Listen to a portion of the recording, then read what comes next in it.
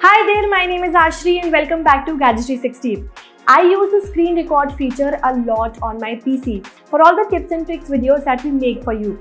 Now honestly, earlier I had no idea how to do that. But now I have found out several ways on how to capture screen on my Windows laptop.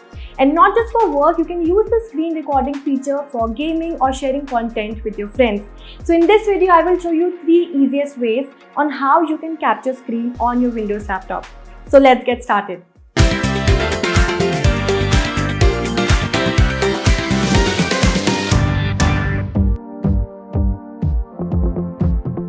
So the first and the easiest way is to use the Xbox Game Bar feature. Now this is an inbuilt feature by Windows that is designed to record games on your PC. But you can also record other screen activity on your laptop. To use this, you'll have to set up Game Bar first. Just go to Settings, Gaming, Xbox Game Bar and enable Xbox Game Bar switch. Now if this is already enabled for you, then skip this step. Here you can also change any of the keyboard shortcuts for opening the game bar, starting or stopping the recording and turning on or off the mic. Now open any of the app or window that you wish to screen record. Then open Xbox Game Bar from the search bar or you can also use its shortcut key which is Windows icon plus G. You will now see a pop-up bar at the top. Just click on the capture icon. Now a new window will open in front of you. If you want to record audio as well, then turn on the mic. You can also adjust the volume of your mic. Then finally click on the recording icon to start recording. You will now see a small floating bar in the top right corner of the screen through which you can control the recording. Now to stop the recording, click the recording button on the floating bar. Now once the recording ends, a notification tells you that the clip was recording. Just click on the notification to view your video in the game bar.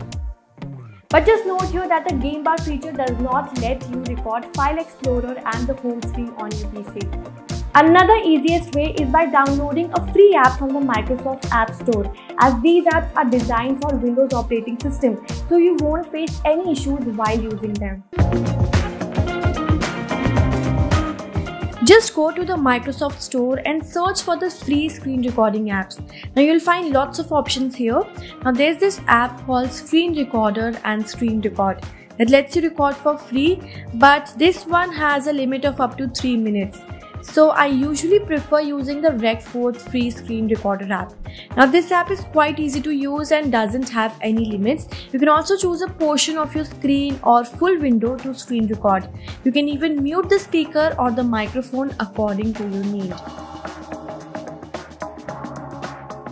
Another great way is to use a screen recording software called OBS Studio. Now it is available for free for Windows, Mac OS and even Linux. So first download OBS Studio on your Windows PC and once it is installed, open it. Now you might find difficulty in using this software in the starting but once you get the hang of it, it is pretty easy. Now once it is opened, you will see the preview is a blank screen. Now OBS Studio does not capture any video by default. So to start screen recording, you need to add a source. At the bottom of the window is a box called sources. Just left click on your mouse and pick the source you want to add. Now select audio input capture and audio output capture if you want to screen record with audio. Once these are added, select display capture to record everything visible on your computer. And if you also wish to screen record while gaming, then you can also add game capture option. Now all of these sources once are added will be visible right here. So you can start screen recording. Just hit the screen recording option on the right hand side and when you want to stop, click on stop recording. And once your screen recording is done, you can find it using file and then show recordings. Hope you enjoyed this video. Do let me know in the comment section below how do you record your screen on your Windows laptop. And like always, keep following Gadget 360 for all things tech. I'll catch up with you in the next video.